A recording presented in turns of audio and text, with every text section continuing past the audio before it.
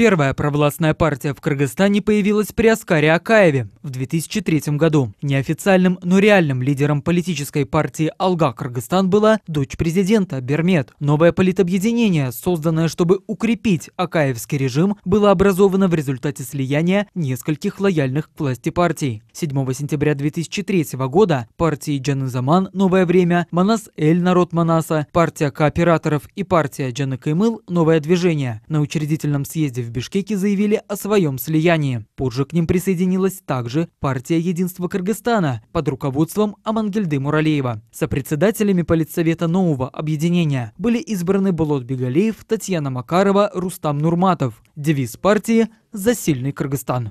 Плохо идет работа с молодежью. Чтобы привлечь их в наши ряды, создание молодежного крыла партии соответствует нашей цели. На первом этапе были случаи принудительного включения граждан в членство партии. Мы не должны этого допускать. В нашей партии не должно быть случайных людей. Мы слабы в регионах. Нам необходимо усилить работу в этом направлении. Сейчас в партии состоят 8704 человека. Есть представительство во всех регионах. Есть партийные ячейки. На первом съезде партии «Алга Кыргызстан», кроме рядовых делегатов, участие принимали также члены правительства, губернаторы и акимы. Члены провластной партии тогда утвердили более двух тысяч кандидатов на ближайшие выборы в местные кенеши.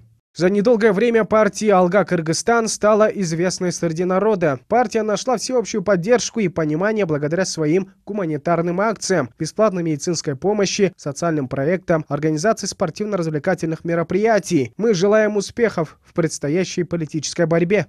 На съезде партии «Алга Кыргызстан» при этом звучали не только громкие обещания избирателям, но и откровенная клевета в адрес оппонентов власти. Представителей оппозиционных партий, члены провластного объединения, называли провокаторами и предателями Родины. Партия «Алга Кыргызстан» прежде всего создана семьей президента. Там собрались одни лицемеры и подхалимы. В эту партию вошли губернаторы, министры. На счет этой партии перечисляются огромные средства от государственных органов и бизнес-структур. По моим данным, собрано около 3-4 миллиона долларов. Хотят раздать своим кандидатам во всех округах от 50 тысяч до 100 тысяч долларов. Они планируют выдвинуть 75 кандидатов во всех 75 округах. Это политическая партия, которая создана создана, чтобы продлить жизнь сегодняшней власти. Ее сила только в этой власти. Завтра, когда этой власти не станет, члены этой партии разбегутся кто куда. Создатели этой партии вряд ли могли предположить, что век ее будет недолгим, но планы строили тогда очень амбициозные, главной целью которых было удержать власть. Созданная в сентябре 2003 года партия «Алга Кыргызстан» в декабре инициировала поправки в Конституцию, главная из которых – избрание депутатов по партийной системе. Перед этим 75 депутатов Джукуркутинеша обратились в Конституционный суд и предложили проект закона о введении пропорциональной избирательной системы. Однако парламентские выборы выборы в начале 2005 года все равно пройдут по одномандатным округам. Партия «Алга Кыргызстан» выдвинула своих кандидатов лишь в половине из 75 округов. Хотя и было объявлено, что от партии баллотируются 26 претендентов. На самом деле их было больше. Например, сама Берметакаева выдвигалась не от партии, а как самовыдвиженка. Чтобы обеспечить победу официальных и неофициальных кандидатов от провластной партии, применялся админресурс, подкуп голосов и другие всевозможные грязные методы. По заявлениям политиков Мелиса Эшимканова и Кабая Карабекова, в их округах провластными кандидатами организовывались так называемые карусели, массовый подвоз людей из других округов, домкомам раздавали по тысяче сомов, а избирателям по 200 сомов. Нечестные выборы в итоге потом привели к мартовской революции, а партию «Алга Кыргызстан», которая просуществовала всего полтора года, после событий 24 марта уже никто больше вспоминать не будет.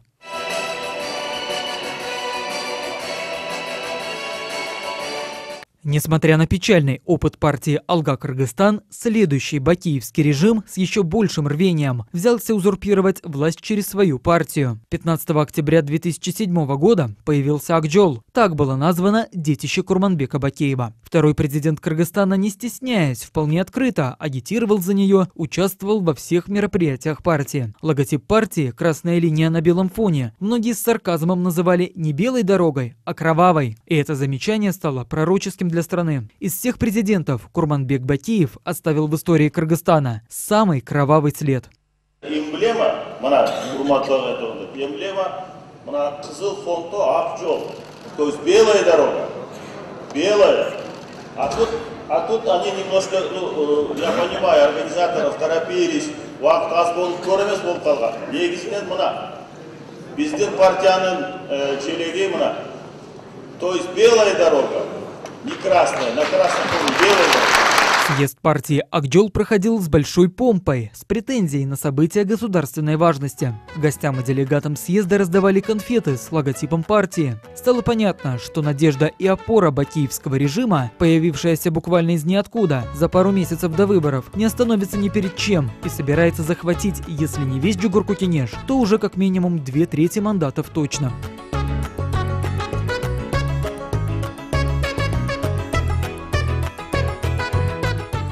По сложившейся традиции, основной костяк пропрезидентской партии составили известные персоны из различных сфер, некоторые известные политики. Было видно, что Бакиев дал четкое указание везде и во всем оказывать его партии поддержку и особое внимание. Еще до выборов правительственные чиновники отчитывались перед верхушкой Акджола, как будто эта партия уже стала правящей. Макроэкономическая стабильность в стране. Мы завершили год с ростом ВВП в размере 7,6%, решена проблема инфляции. Спустя всего неделю после создания партии Акджол 22 октября 2007 года Бакиев распустил третий созыв Джугуркутянеша и назначил на декабрь досрочные парламентские выборы.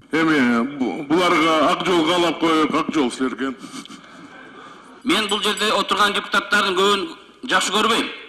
Да, мне не нравится большинство сидящих здесь депутатов, но парламент должен уважать волю народа. Мы должны уйти достойно. Даже простого гражданина хоронят с соблюдением всех ритуалов. И прекратите причитать.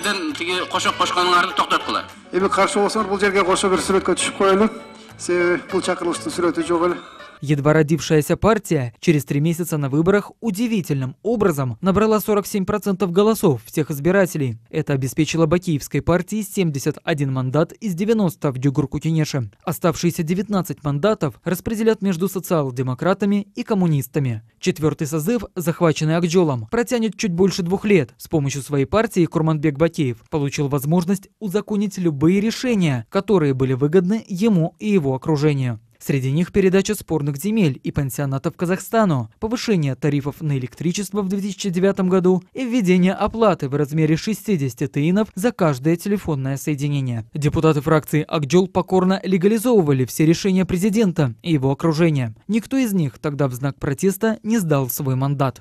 эгемендигин жана көз карандысыбын коргоого ант беремин Всех депутатов, все три фракции, Акджол, коммунистов и социал-демократов, я призываю к единству. Я буду относиться ко всем вам одинаково. э,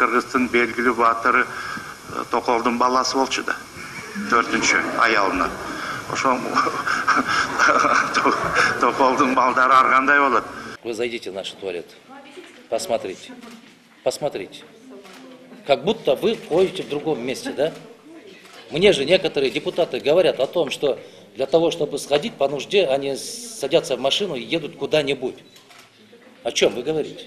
Произвол, который творили Бакиевы вместе со своей подручной партией, в итоге привели к событиям 7 апреля 2010 года. Акджол постигла та же участь, что и Алга Кыргызстан. Но на политическом Олимпе место провластной партии пустовало недолго. Главной партией страны стала СДПК. Конечно, по сравнению с предыдущими провластными партиями, СДПК не была созданной наспех структурой. Она имела большую историю. Социал-демократическая партия Кыргызстана была создана 1 октября 1993 года года. Тогда ее первыми лидерами были Абдаганы Иркебаев, Анатолий Марышев, Алмазбек Атамбаев. Три представителя этой партии потом стали президентами страны. В свое время Роза Утунбаева избиралась от этой партии в Дюгуркутянеш, а после апрельских событий 2010 года была президентом страны. После нее пост главы государства также достался социал-демократам Алмазбеку Атамбаеву и Сооронбаю Джейнбекову. В отличие от партий Акджол и Алга Кыргызстан, СДПК продержалась у власти подольше. После краха Акджола и в целом режима Батиева ожидалось, что на парламентских выборах 2010 года революционные СДПК и Ата-Мекен одержат сокрушительную победу. Однако результаты голосования удивили многих. Большинство мандатов, 28 мест, досталось оппозиционной партии Ата-Журт, а социал-демократам 26. Но это для эсдеков не стало препятствием для того, чтобы создать вокруг себя правящую коалицию и формировать правительство. Через пять лет в 2015 году в ходе очередных парламентских парламентских выборов СДПК заняла уже первое место. Социал-демократы при открытой поддержке президента Атамбаева взяли 38 мандатов. Это дало им еще больше возможностей влиять на принимаемые решения, в том числе при назначении нового состава правительства. С помощью подручного большинства в парламенте Атамбаев приводит к власти своего друга Сооронбая Джейнбекова, у которого на тот момент рейтинг был всего 3%. Из Джейнбекова сначала делают премьер-министра, а затем и президента. Вскоре между друзьями произошел конфликт. Члены фракции СДПК, которые еще недавно восхваляли Атамбаева, переметнулись на сторону Джейнбекова, и влияние бывшего президента в Джугуркутинеше упало практически до нуля.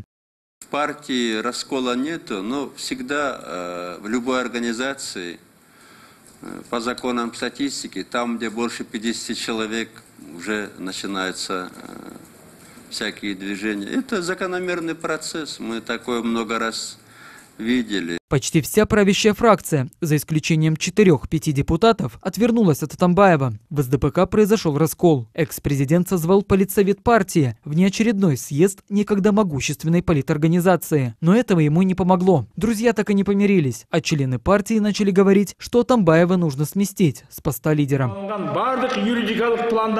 Мы утвердили уже новый юридический адрес. Если раньше головной офис был на улице 7 апреля, то сейчас это бульвар Эркиндик, 43. Тем временем Сооронбай Джейнбеков начал понимать, что свою власть при помощи СДПК ему вряд ли удастся удержать. Его брат Асалбек заявил, что уходит из партии, при этом остался во фракции, иначе лишился бы мандата. Статус его оставался непонятным, он не член СДПК, при этом депутат от СДПК. Я думал, что всю жизнь буду членом СДПК, но обстоятельства диктуют другое. Я как человек, неравнодушный к будущему страны, официально заявляю о своем выходе из СДПК, а свою депутатскую деятельность я продолжу во фракции и в парламенте. Желание иметь в парламенте свою личную партию Соронбаю Джинбекову обошлось очень дорого. Перед парламентскими выборами 2020 года было объявлено о создании партии Беремдик. Всем было очевидно, что это новый проект власти. В ее состав вошли многие представители СДПК, которые еще недавно клялись в верности Атамбаеву и социал-демократам. В ходе предвыборной кампании и в день голосования в пользу провластной партии была задействована практически вся государственная машина. Партия Беремдик в итоге стала одной из двух партий, из-за действий которых произошли народные волнения 5 октября. Если бы результаты голосования не отменили, то Беремдик взял бы в Джугуркутинеше 46 мандатов. Формальным лидером партии был Марат Аманкулов. Сейчас он обвиняется в незаконном обогащении. Недавно ГКНБ опубликовал фотографии его имущества. По словам главы спецслужб Камчебека Ташиева, Марат Аманкулов начал возмещать причиненный им государству ущерб. Насчет Аманкулова возбуждено уголовное дело о незаконном обогащении он, естественно, будет отвечать перед законом. Таким образом, партия Беремдик стала третьей пропрезидентской партией, которая привела к краху своих создателей. После октябрьских событий многие политики поспешили внедриться уже в партию Микинчиль. Также ожидалось, что она станет новой партией власти. Ее в 2010 году основал нынешний президент Садыр Джапаров. В прошлом году эта партия также баллотировалась в Джугуркутинеж и возглавлял ее Камчебек Ташиев. Однако 7% порог партия Микинчиль тогда не преодолела. Те, кто подкупал голоса и коррупционеры должны покинуть страну. Выборы нужно провести заново. Сегодня следует создать координационный совет. Аннулировать итоги выборов. Мы должны объявить новые парламентские выборы. После прихода к власти Садыра Джапарова многие прогнозировали, что теперь парламент перейдет под контроль партии Микинчель. Однако президент заявил, что запретил своей партии участвовать на выборах не только в местные кенеши, но и в Джугуркутенеш. Мекенчил партиясын жергиликтүү шайлоолорго катышпайт деп чечтим катыштырбайын деп анткени я принял решение, что партия Микинчиль не будет заявлена для участия в местных выборах. Это сделано для того, чтобы избежать ошибок прошлой власти. Три раза в стране совершалась революция. В последний раз народ вышел против результатов выборов, и нарушения в виде подкупа и админресурса были очевидны. Для того, чтобы этого не допустить, чтобы никто больше не говорил о подкупе голосов избирателей, об использовании голосов бюджетников, партия Микинчиль участвовать не будет. Это же решение распространяется и на предстоящие парламентские выборы. Мы хотим провести честные выборы без подкупа и админресурса. Мы хотим, чтобы народ сам решил, кого хочет видеть в качестве депутатов. Елисей Кирпиченко, Элизатор Кентур, Эрлан Кемельбеков, НТС. Итоги недели.